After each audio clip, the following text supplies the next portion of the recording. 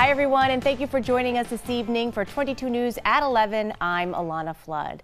Nice weather finally returned this weekend, and 22 News reporter Heath Kalb is live in studio with how people felt about this first real glimpse of summer, Heath. Exactly, Alana. I was at Forest Park today, and there were just so many people enjoying the sun and the warm temperatures with family and friends after what has been a pretty gloomy week. I like to go to the park with my family because it's like good weather outside. Following weeks of lousy, rainy weather, this weekend felt like the perfect few days to get outside.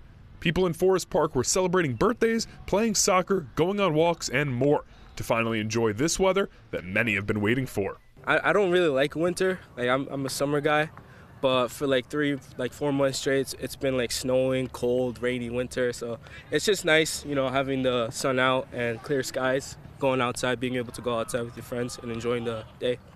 And so for this group of friends, playing volleyball in the park on a beautiful day like this is the best.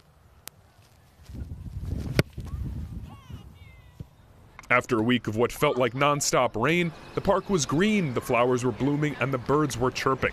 Many used the sunny day to walk their pup, while others at the park saw the temperature in the 70s and took the opportunity to get away from the treadmill and onto the path at the park.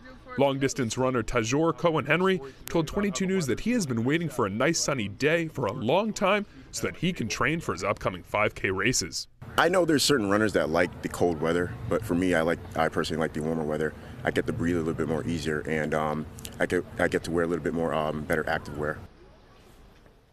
And good news, the weather looks like it will stay nice out for the foreseeable future. And our 22 News Storm Team meteorologist Adam Strzempko will have more on that later in the broadcast. Working for you live in studio, I'm Heath Kalb, 22 News.